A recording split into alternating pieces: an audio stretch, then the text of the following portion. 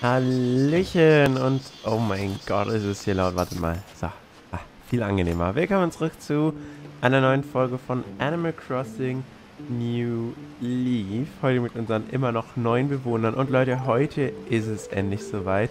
Wir werden heute anfangen zu arbeiten. In der letzten Folge gab es ja ein schönes kleines Feuerwerk. Und genau, heute können wir dann endlich reinstarten mit der Arbeit. Ich freue mich schon übel drauf. Ich werde wahrscheinlich richtig verkacken, weil ich mich nicht spoilern lassen werde. Genau, das müssen wir noch abreißen.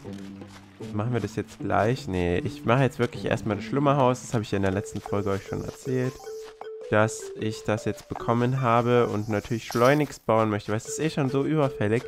Ich habe mich wirklich so gewundert die ganze Zeit schon und gefragt, wann denn Melinda endlich mal ein bisschen schla schlafen kann, damit sie das Schlummerhaus uns anbietet.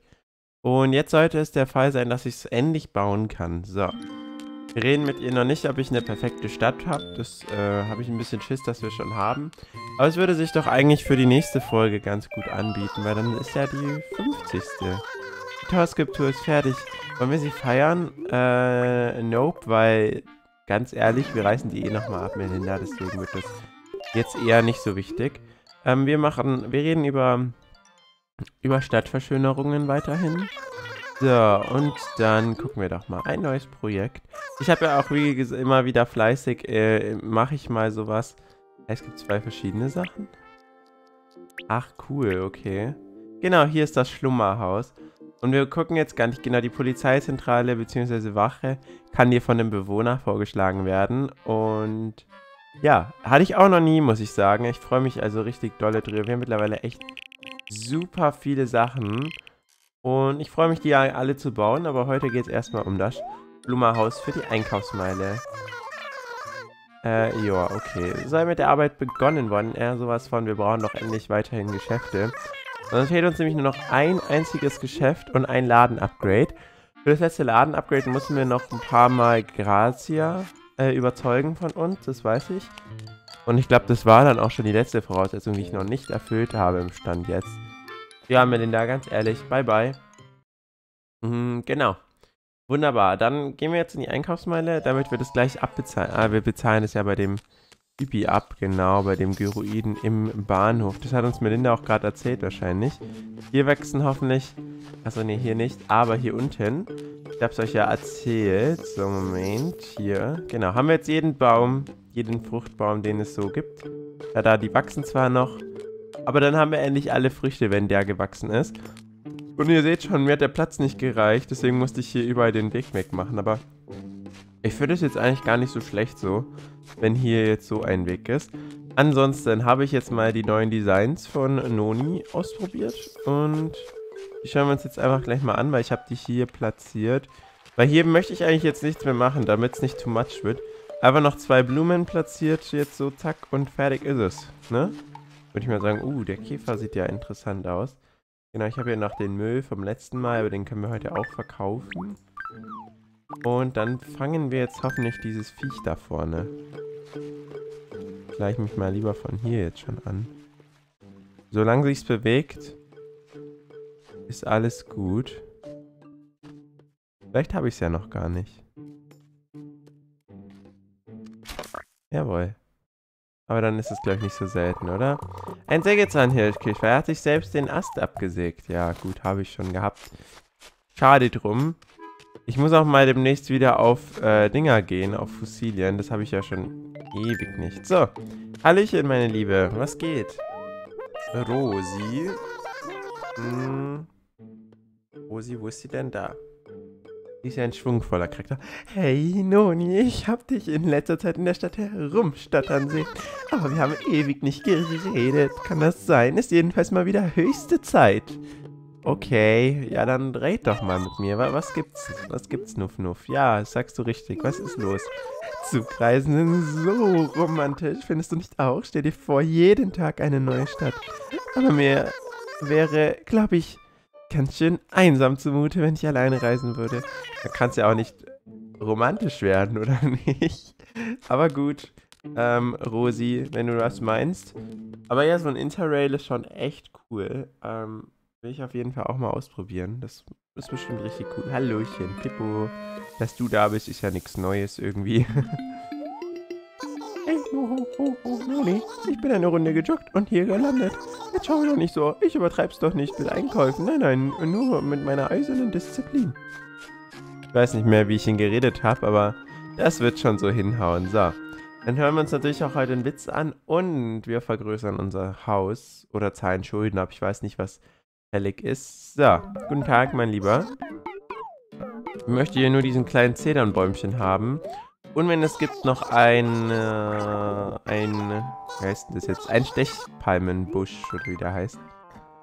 So. Mal schauen, ob du einen für mich da hast. Jawohl, genau den will ich doch. Jupp, nehme ich mit. So, und dann noch hier, was ist das hier? Eine Hecken. Na, okay, die Azaleen. Ich habe die ja immer noch eigentlich nicht benutzt, deswegen unnötig. Ich muss mal wieder mehr mit Büschen arbeiten. Aber solange das jetzt nicht passiert, brauche ich die auch nicht. so. Ach, die Gisela, die gute. Die, die, bei der werde ich es natürlich niemals vergessen, wie ich sie geredet habe. Hallöchen. Na, kleine Shoppingtour? Oh, ja, servus, Noni. Wie geht's? Kniest auch die Einkaufsmeile vom Blättli? Ja, ich finde sie auch ganz schick eigentlich. Ach, guck mal, das ist cool. Oh, der Sushi-Stand, den muss ich auch mitnehmen. Der ist ja mega geil. Ich kannte den auch gar nicht. Das ist wie bei diesem All You Can Eat. Du setzt dich da so hin und dann gönnst du dir einfach alles, was an dir vorbeifährt. Sushi Bar. Ja, geht ja auch voll vom Preis. Genau, und ihr seht dann im August kann man hier immer so was hier kaufen. Und auch so einen Glückskeks. Ach so. Okay. Da war eine Gäste, am gestrigen Tag was anderes. So, die Mülltonne ist auch fancy. Die nehme ich auch mal mit. Ähm, ja, krass, heute gibt es ja richtig Shopping-Tour hier. Äh, wir gehen natürlich auch gleich zum Friseur. Also wir machen halt wirklich eine große Shopping-Tour.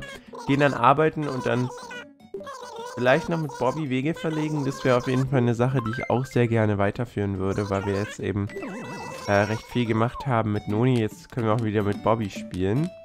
Mit ihr war ich auch eigentlich wie immer, wenn wir uns einloggen. Wir loggen uns ja so einmal im Monat mit Bobby ein. Kommt erstmal immer dieses, oh, wow, lange warst du weg. Und, ähm, ja, dann gehe ich jetzt erst kurz Schulden machen oder abbezahlen. Ich weiß gar nicht.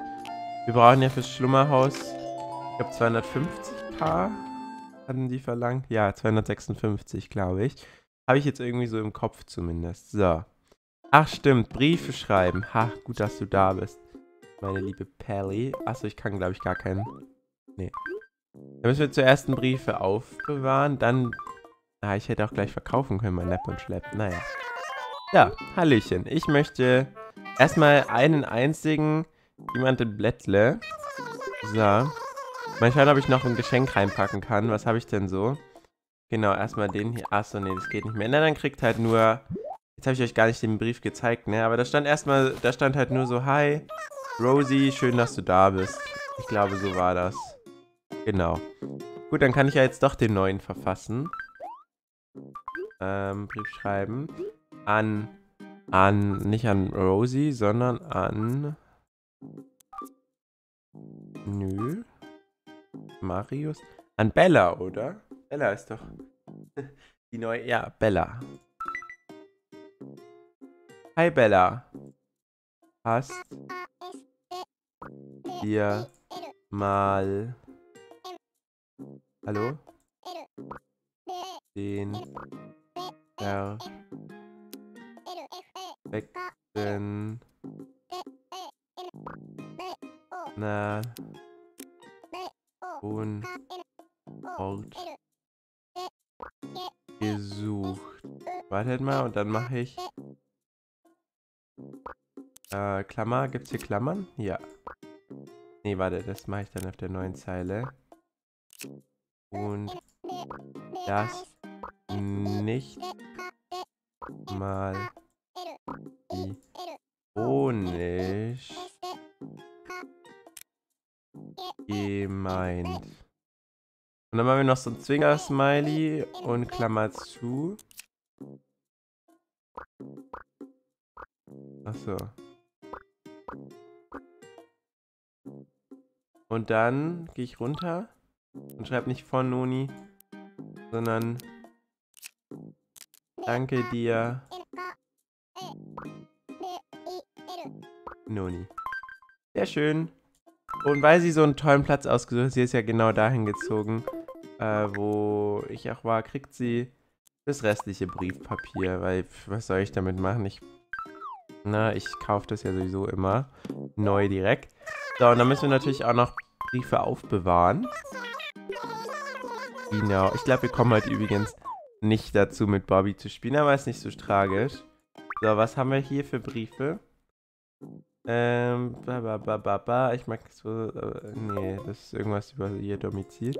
Hier sind die Mama-Briefe, ne? Ja. Mama, jawohl. Dann kommt natürlich auch der wieder da rein.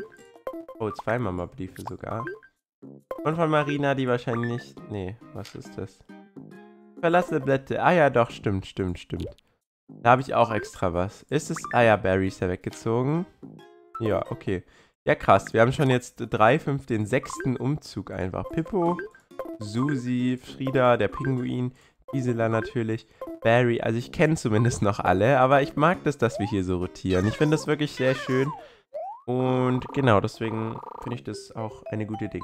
Jetzt finde ich es ein bisschen schade, dass meine Top-Frisur, die ich ja übel gerne mochte, einfach verschwunden ist, weil ich mich ein bisschen mal nicht eingeloggt habe. Ich glaube, nur zwei Wochen oder so war ich nicht drin.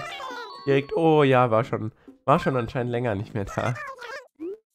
Ziemlich schade. Aber wir müssen auch immer noch mal so einen Zukunftsbox machen. Das müssen wir auf jeden Fall auch in naher Zukunft. So. Aber jetzt erstmal an, achso, an Bella. Dann haben wir nämlich alle schön begrüßt. Ich habe das ja euch erzählt, ich habe das ein bisschen vernachlässigt. Und jetzt äh, will ich das aber wieder Fahrt aufnehmen, zumindest wenn die Leute ein- und ausziehen. So, dann gucken wir mal. Ah, okay, ich habe noch gar keine Schulden. Das heißt, ich muss zu Tom Nook rein. Aber ich brauche jetzt 250k. Also hebe ich auch gleich 250 ab. Hä? Achso, es passt nicht in, mein, in meine Tasche. oh Mann. Ja, ja, okay. Dann äh, gehe ich jetzt mal kurz die Sachen hier verkaufen, die ich nicht brauche. Habe ich ja alles schon gespendet. Und genau, dann gucken wir weiter. So, Leute, mir ist gerade aufgefallen, der nächste Part ist ja noch gar nicht, Part 50. Der der übernächste, aber das ist ja eigentlich egal. So, was haben wir denn für Rübenpreise? Weil ich habe ja 20 Rüben gekauft. Perfekt. Ich habe sie für 103 eingekauft. Dann kann man sie doch für 170 verkaufen. Komm, bevor jetzt irgendwas noch passieren wird, verkaufe ich die lieber. Dann habe ich hier noch Segetan Hirschkäfer, ein Sombrero und eine Herzchentelefon.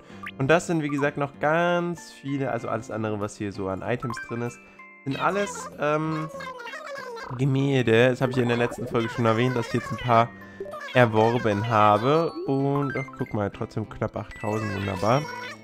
Ähm, ja. Ich würde sagen, dann gehen wir jetzt einen Witz anhören. Oder die Kunstwerke erstmal abgeben. Oder zu Tom Nook. Also wir haben noch jede Menge vor. Mensch, Eugen, jetzt schlaf doch nicht. Ich habe so coole Sachen für dich dabei. Kannst du doch nicht einfach verpennen, oder? Uh, Verzeihung, Verzeihung. Ja, ja, ja, gut. Wir haben erstmal ein Fossil, habe ich für dich, glaube ich, dabei. War es nicht so? Ja, genau. Ah, die Stechpalme muss ich auch noch pflanzen. Mein Gott, Leute, wir haben heute viel, viel vor. Aber in der nächsten Folge habe ich dann umso weniger vor. Das ist super. Äh, Anthroposaurus. Oh, haben wir schon. Ja gut, wir haben eh schon die allermeisten Fossilien. So, aber ich habe trotzdem was für dich. Ich glaube, ein paar Sachen von den Gemälden haben wir schon, aber ich habe einfach genommen, was ich bekommen konnte. Edelgemälde, Perlengemälde, Würdestatue, Uraltstatue und Mutterstatue. Weil, ganz ehrlich, allein durch äh, den guten Rainer kommt man halt einfach nicht voran. Und deswegen freut ihn das wunderbar. Ja, ja, keine Umstände. Ist doch logisch. Also wir kommen auch, was das Museum angeht, ganz gut voran. Wir haben ja jetzt viele Fische mit Noni schon und Insekten. Ja gut, Fische eher weniger, aber guck mal, Insekten schon recht viel. Aber klar, mit äh, Ding habe ich nochmal deutlich mehr mit äh, Bobby, beziehungsweise habe ich da trotzdem noch recht viel mit Bobby gespendet, ne? Kann man ja auch nicht unterschätzen. Ah, okay, aus dem Witz wird wohl nichts. Steht einfach dran geschlossen. Warum? Kann ich mir jetzt nicht erklären. Aber genau, das schlimme Haus wird übrigens hier entstehen. Nur so mal by the way. So, dann gehen wir mal zu Tom Nook und lassen uns neu verschulden, oder? Ist ja jetzt doch wieder ein bisschen länger her. Ich wollte es ja recht oft aufstocken und ja, deswegen. Hallöchen, mein Lieber. Hm, willkommen, willkommen. Und du meine Güte, Noni, schön, dass du hier bist. Dein Kredithaus äh, ist vollkommen abgestellt. Jedes einzelne Sterni. Warum denn so eifrig? Hm, naja. Willst bestimmt noch mehr, oder? Yep. Oh mein Gott, es gibt einfach beide Türen von diesen. Aber ich finde die nicht schön. Die würden zu Bobby passen. Äh, zu Bobby, zu, zu, zu, wie hieß er denn jetzt? Barry, mein Gott, ey, es tut mir leid, Barry, dass ich dich so vergessen habe. ja. Nee, aber ich bin gerade mit meinen Außenfassaden etc. ganz zufrieden. Ich würde sagen, wir machen, wir vergrößern nochmal das eine Zimmer, ist wirklich sehr klein. Und dann gehen wir danach mal auf ein neues Zimmer. Achso, hä? Achso, ich kann ja nur eins. ich sag gerade, hä, okay, wieso habe ich jetzt keine Auswahl? 500k, jawohl, mach mal. So, ich bin wirklich gespannt, ob mein Anfangs... Ich habe ja am Anfang, bin ich richtig reingehasselt. Wie viel hatte ich? Knapp 20 Millionen. Das sinkt ja und sinkt ja immer weiter durch Public Projects, durch Hauserweiterungen. Deswegen bin ich sehr gespannt, ob es letztlich ausreichen wird. Das werden wir dann äh, gemeinsam äh, erleben, auf jeden Fall. Dann bezahlen wir jetzt gleich diesen Kredit ab. Boah, 700k heute schon wieder weg. Ja, krass. Und dann natürlich das Schlummerhaus. Und dann gehen wir endlich arbeiten. Also für Bobby bleibt heute leider keine Zeit mehr, aber das ist auch nicht so wichtig. Dann machen wir halt umso mehr in der nächsten. Ja, wieso kann ich keinen Kredit aufnehmen noch? Also abbezahlen. Na, dann hebe ich einfach 250 ab diesmal. Und den Kredit anscheinend erst morgen dann, oder wie? 15, wow, nur noch 14,5k, wenn wir den anderen auch abbezahlen. Ja, tatsächlich, okay. Ja, wir könnten auch die Coupons eintauschen. Übrigens, was ich auch noch sagen wollte, ich habe mir jetzt fest vorgenommen, der nächste Camper, der in einem Part bei uns campt, der wird mitgenommen, weil wir haben die ganze Zeit nur neun Bewohner und das mag ich so gar nicht, muss ich sagen. Das muss ehrlich nicht sein. Ähm, genau, also dann nehmen wir auf jeden Fall den nächsten Bewohner, der da kommt, damit wir endlich mal wieder zehn haben. Ich hoffe, es ist kein Hase und kein Hund. Sonst haben wir einfach bald eine Hasen-Hund-Stadt. Na gut. Guten Tag, Süßer. Hm, was ist dir denn heute so? Ja, du siehst doch, oder? Meine Haare sind komplett am Ende. Ich weiß nicht, was da passiert ist. Naja, ich sehe schon. Naja, ähm, dann machen wir das so. Aber du weißt ja, ich muss dir ungefähr 3000 Sternis abknüpfen. Was heißt ungefähr? Genau 3000. Ja, ja, alles gut. So, dann packe ich meine sieben Sachen. Also, ich würde trotzdem, ja, wir können ja mal gucken, was hatte ich beim letzten Mal, ich weiß schon gar nicht, aber ich würde jetzt wieder eher zu lässig tendieren. Verstehe, ein Hauch von Lässigkeit also. So viel Ernsthaftigkeit drückt auf Dauer. Man sollte auch seiner Freiheit Raum geben. Naja, äh, wie sieht's bei dir zu Hause? Bist du ein unaufgeräumter oder ein Ordnungsfanatiker? Definitiv ein Ordnungsfanatiker. Äh, du machst tatsächlich einen patenten Eindruck. Bist du generell sehr selbstständig? Oder wird dir täglich in Eigenregie um umwerfende Frisur zaubern? Oder bist du eher der natürliche Typ? Frisur in eigenen... Na, natürlich. Verstehe, ein unkompliziert tragbares ist dann wohl das Beste. Wunderbar, jetzt weiß ich genau, was du willst. Dann kommen wir noch zur Haarfarbe. Äh, ich will was Natürliches. Machen wir mal ein bisschen heller als beim letzten Mal. Ähm, mach mal... So? Ah, noch ein Mini-Stück. Habe ich vielleicht blonde Haare? Äh, passt mir. Alles klärchen, ich weiß jetzt genau, was du willst. Warte nur ab, das Ergebnis wird Bombe. Ja, das weiß ich noch nicht so ganz, aber okay. Oh Gott. Und, und ich bin immer so gespannt. Ah, schon wieder die Frisur. Ja gut, die hatte ich schon mal. Das ist aber arg blond, ne? Naja, es, es sieht sehr edel aus. Äh, das ist sogar die Frisur vom letzten Mal, oder nicht? Ach, guck mal, es passt jetzt so. Ja, oder? Also die hat... Nee. Geht mir in Blau, glaube ich, ne? Ist jetzt... Ja, warum schon wieder? Also klar, ich habe, glaube ich, dieselben Sachen ausgewählt, aber... Naja, laufen wir halt erstmal mit... Äh, weil, wisst ihr, hellblond ist für mich ja schon das, aber ich bin ja noch deutlich nach oben gegangen. Ja gut, ist ein bisschen grau dabei, aber... Weiß ich nicht, jetzt bin ich einfach ein Opa.